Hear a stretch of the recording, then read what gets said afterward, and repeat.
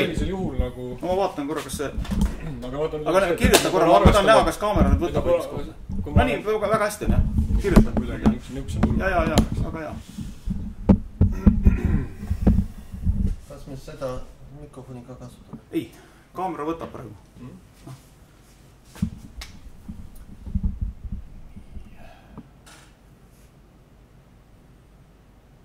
tahti mõõtu noodi joonestikul tähistatakse hariliku murruna.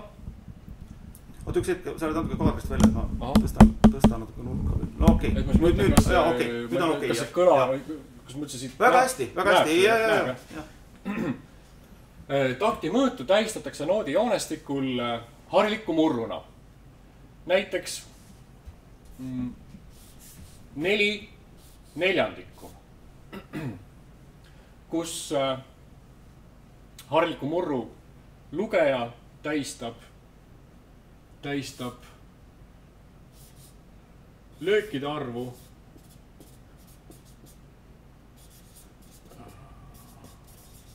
ei, spordilöökide arv. väga õige, löökide arv tahtis ja no seda küll jah, aga tegelikult vaata jällegi see on see nüüd, mul tuli meelde, et noh, see on noh, jah, et tegelikult ma peaks ikkagi, et ma mõtlen äh,.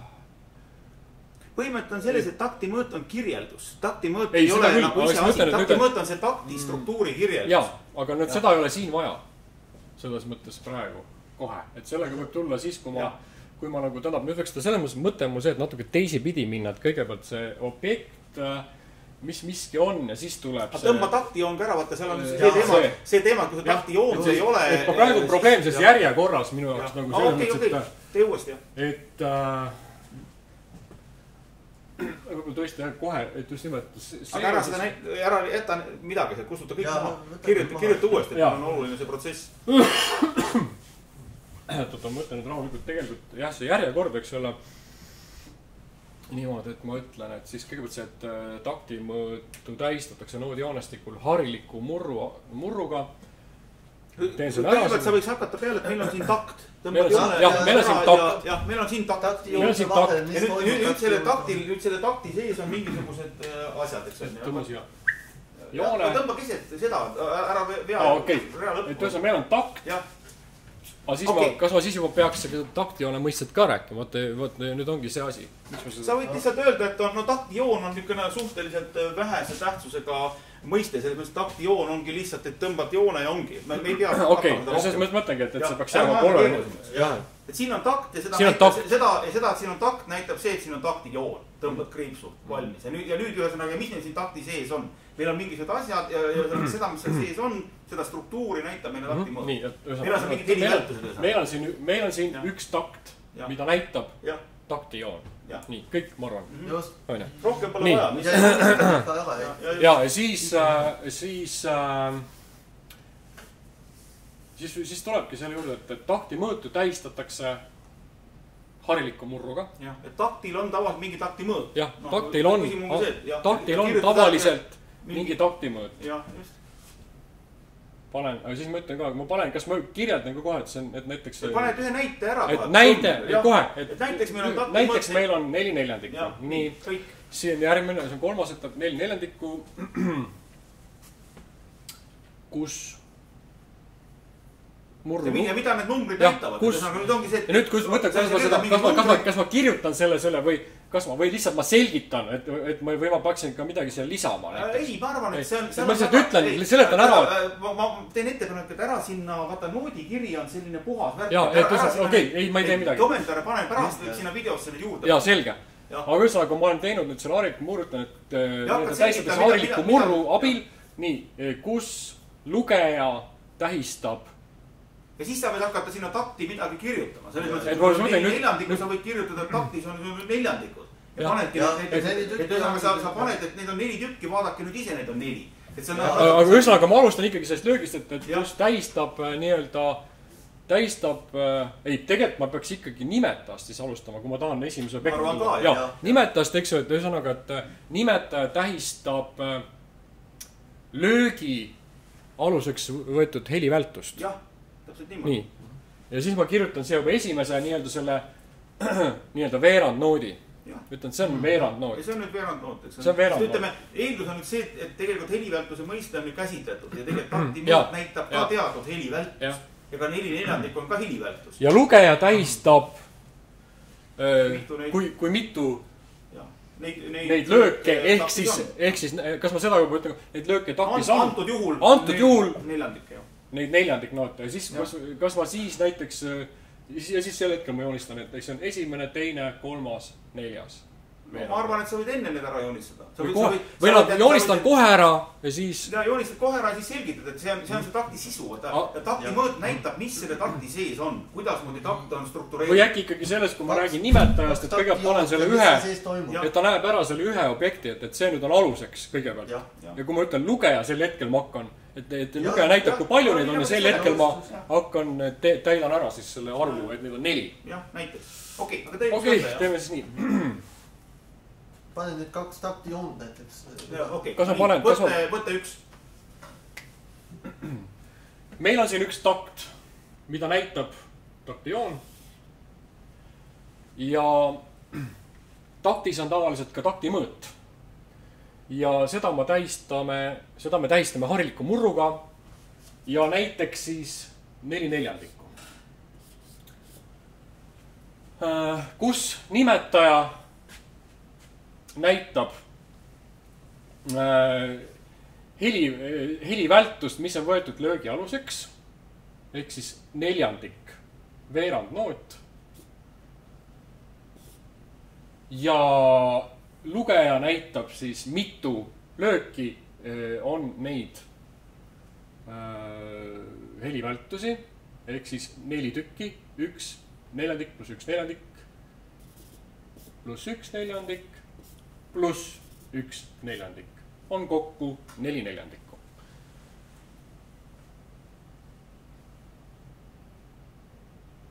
kõnnid kaamerast praegu välja.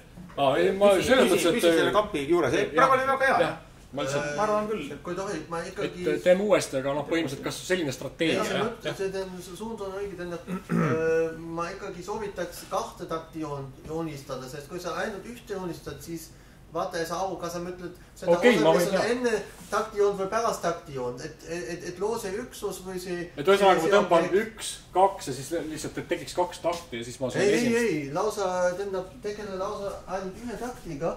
ehk äh, see on õiges kohas ja siia paned veel ühe. ja siis on äh, vaata täpselt selge, et nende taktijoon, joonte vahel toimuvast äh, käib edaspidi jutt. Et see on mi- minu soovitused. aa, et, et samas muidugi vaata, kui rida algab niimoodi ortograafiliselt on, on see ju õige, praegu sinna ei peaks tegelikult üldse ja panema. aga sa võid selles mõttes võib-olla tõesti ja, ja nüüd, nüüd Sest- sa võid lõpetada niimoodi ja nüüd teeme teise takti veel. just, ja siis. ja, ja, ja, ja, ja, ja ja, ja siis umbes niimoodi. tõmban siia veel ühe tõmba joone. üks joon veel, aga selle teise takti te võite ise juba joonistada, mis seal sees on. no ütleme, see võib minna edasi. tähendab, probleem on selles, et, et meie te- teame, et, et, et kui muusika algab, siis ei ole see taktijoon, siis on see mingi võti, ühesõnaga see võti on puudu siin. kui me räägime taktist kui üksusest või objektist, siis ta on öö, noodi see, tähendab partituuri sees ta on selgelt eristatud kahe takti. no või siis, või siis ikkagi rea algusega, tähendab, et. Aga- aga, selles mõttes, selles mõttes sa võiksid oma, oma nüüd jutu lõpetada sellest ja nüüd tuleb teine takt. Ja nüüd tuleb teine. ja see, mis selle ja mis selles taktis juba on, see on juba järgmise korra ja, ja teema. mis helivältused meil seal on, see on juba järgmise korra teema. või midagi sellist, no ühesõnaga, et natuke võiks nalja ka teha ikkagi. tee, no okei okay,, tee uuesti jah. võte, võte kaks.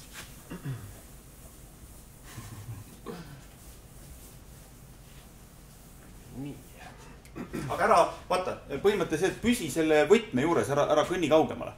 Aa siin, jah, See on minu telg, on, jah. võti on nagu see on minu telg. isegi ma ütleks, see on isegi isegi lähemal nii et võti on umbes taguotsa piiril. no siis selle joone peal ma olen. siis jah, vaata sellest klaverist ära praegu mine, muidu sa Aa, lähed okei. kaamerist välja. okei, võte kaks. meil on siin üks takt, mida tähistab meil taktijoon. taktis on alati ka taktimõõt, mida tähistatakse omakorda hariliku murruga, näiteks neli neljandikku, kus äh, murru nimetaja äh, tähistab äh, helivältust, mis on võetud löögi aluseks, ehk siis siinkohal üks neljandik. ja lugeja näitab, kui palju neid lööke ehk siis neid helivältusi siia takti mahub. üks neljandik pluss üks neljandik pluss üks neljandik pluss üks neljandik annab meile kokku neli neljandikku. siia me saame juba jätkata järgmise taktiga, tõmbame siia uue takti joone. aga see, mis juba siia tuleb, see on juba järgmises õppevideos. sa olid, lõpuks olid väljas. natuke välja no praegu see on tegelikult, ma saan aru, et on, neil on see must materjal, nad enam-vähem saavad aru, mille, et mismoodi, mis, mis, mis, mis vahendid see on, kuidas ma teen see diplomi jutt ei ole, kas ka teeme. et äh, ja natuke saab, me võime kolmanda, kolmanda võtta, kui sa tahad veel, tõesti, sest- tõesti kõndida nii kaugele, siis äh, on parem kui. ei, ma ei pea kõndima, see oli mul automaatselt ma ei tea, millal lõpp on te peate mulle märku andma. Ei, lõppu ei olegi, lõppu ei ole. selles mõttes, et ma, mina otsustasin, et lõppu ei praegu ole, lõpp, ma läksin minema sina. ise- Joe, et mu tund on läbi ei, sa võid ka minna niimoodi Ei. minema, see on ka hea jah, aga see on juba järgmine.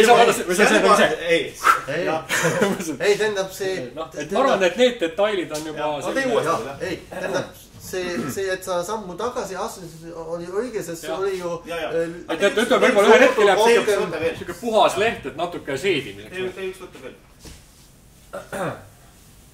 mitte, ühesõnaga võib-olla väike kommentaar, et mitte taktis on takti mõõt, vaid takti, takti, seda takti kirjeldab takti Jah. okei okay,, jah. selle takti sisu või seda, seda, seda takti kirjeldab takti mõõt.